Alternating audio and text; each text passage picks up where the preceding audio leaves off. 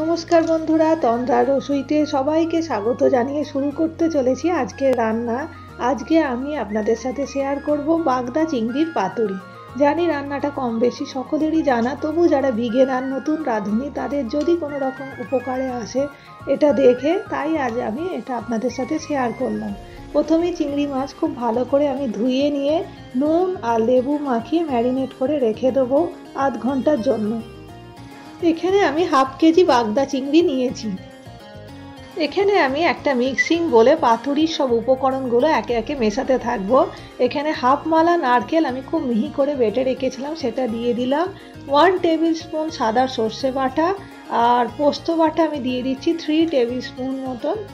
লঙ্কা আমি তিনটি কাঁচা লঙ্কা একসাথে বেটে রেখেছিলাম, সেটা আমি দিয়ে দিচ্ছি। ঝালটা আপনারা কম বেশি করতে পারেন, যে যেমন খান সেই অনুযায়ী।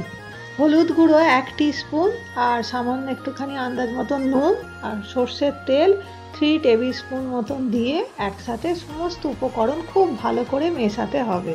এই ক্ষেত্রে বলে রাখি, নারকেলটা যত ভালো হবে, তত কিন্তু এর টেস্টটা ভালো হয়। অনেকে নারকেল বাটাও ব্যবহার করে থাকেন। এবার আমি এর মধ্যে একে একে চিংড়ি মাছগুলো দিয়ে দিচ্ছি। চিংড়ি মাছগুলো আমি ছুরি দিয়ে বাড়িতে খানিকটা করে কেটেও নিয়েছিলাম যাতে মশলাগুলো খুব ভালো করে ঢোকে। মশলাগুলো কিন্তু ভাগ করে করে একটু চামচে দিয়ে দিয়ে ভালো করে ঢুকিয়ে দেবেন, তাহলে টেস্টটা ভালো আসে।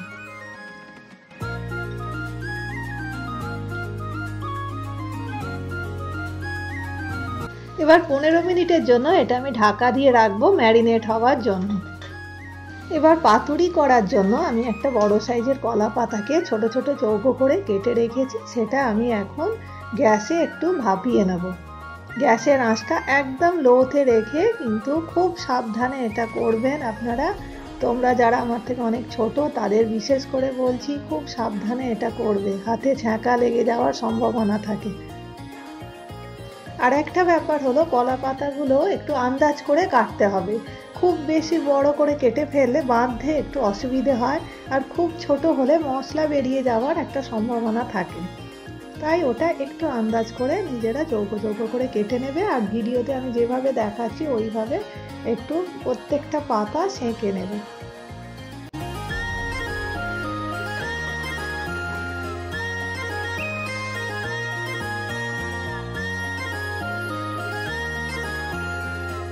এবার কলা পাতার একটি করে টুকরো নিয়ে তাতে ম্যারিনেট করে রাখা, একটা করে মাছ আর অল্প সামান্য একটুখানি করে মশলা দিয়ে ওটা চার চৌকো করে মুড়িয়ে নিতে হবে আর সুতো দিয়ে বেঁধে নিতে হবে। অনেকেই কলা পাতার যে বিটগুলি থাকে, সেখান থেকেই দড়ি বার করে সেটা দিয়ে বেঁধে নেয়। আমি এখানে সুতোর ব্যবহার করেছি। আপনারা সুতো, দড়ি এই ধরনের জিনিস দিয়ে এগুলো বেঁধে নেবেন। তবে সাদা কালারের সুতোই ইউজ করার চেষ্টা করবেন। কারণ কালারিং সুতো না ব্যবহার করাই ভালো যে কোনো খাবারের জিনিসের পক্ষে।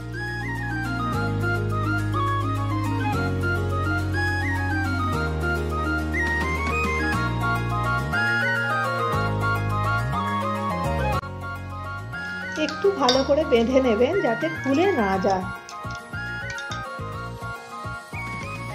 এইভাবে প্রতিটি মাছই আমি একে একে পাতুরি করার জন্য রেডি করে নিচ্ছি।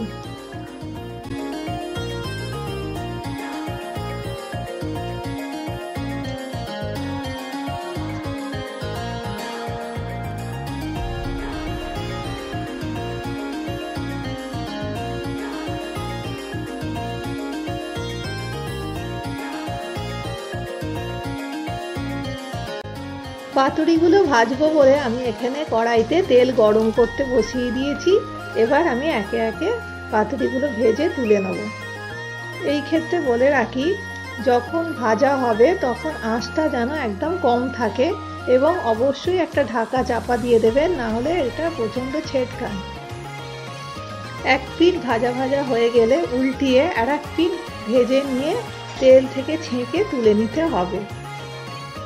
এই পাতুরি দুইভাবে করা যায়। একটা হলো তেলে ভেজে এইভাবে, আর একটা গরম জলে ঢাকা দিয়ে ভাপাতে হয়।